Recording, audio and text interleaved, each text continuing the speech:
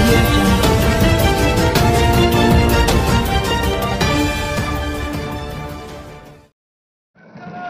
నేను వస్తే నేను నాగార్జున సాగర్ చేస్తే తెలంగాణలో నాలుగు జిల్లాలు బాగుపడతాయి. ఆంధ్ర రాష్ట్రంలో ఉన్న తొమ్మిది జిల్లాలు బాగుపడతాయి.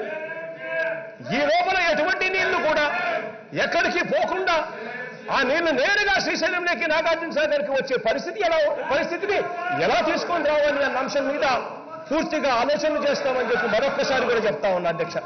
ఇంకో విషయం కూడా చెప్తా ఉన్నా అధ్యక్ష. ఎటువంటి పరిస్థితిలో కూడా ఇది మంచి జరగదు అని అనుకుంటే మాత్రం ఖచ్చితంగా అడుగును ముందుకు వేయం మంచి జరుగుతుంది అంటే మాత్రం ఖచ్చితంగా అడుగును ముందుకు వేస్తామని చెప్పి మాత్రం ఖచ్చితంగా చెప్తా ఉన్నారు మనం ఈరోజు ఈ పొజిషన్లో మనం ఉన్నాం.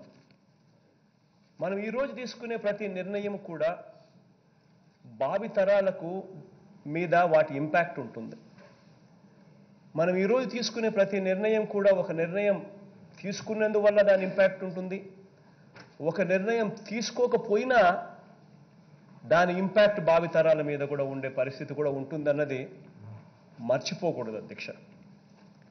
ఎందుకు నేను ఈ విషయాలు ఇంతగా చెప్పాల్సిన పరిస్థితి వస్తూ ఉంది అని అంటే నిజంగా వీళ్ళకున్న డౌట్స్ ఏదైతే ఉన్నాయో ఏదైతే ఎక్స్ప్రెస్ చేశారో తెలంగాణ భూభాగం నుంచి గోదావరి నీళ్ళు తరలించడము అని అంటే ఆ భూభాగం నుంచి వచ్చే నీళ్ళు మన దాకా వస్తాయా అన్న డౌట్ వాళ్ళు ఏదైతే ఎక్స్ప్రెస్ చేశారో వెరీ జెన్యున్ డౌట్ ఖచ్చితంగా దాన్ని మేము మనం కూడా పరిగణలోకి తీసుకోవాల్సిన అంశం ఇది.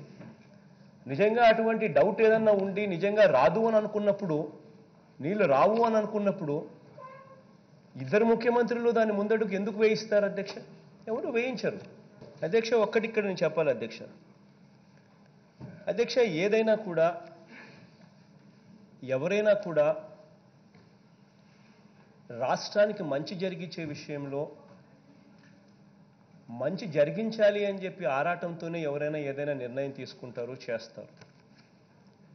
మన రాష్ట్రానికి ఇది చేయడం వల్ల మంచి జరగదు అని అనుకుంటే అది ఎందుకు చేస్తాం అధ్యక్ష?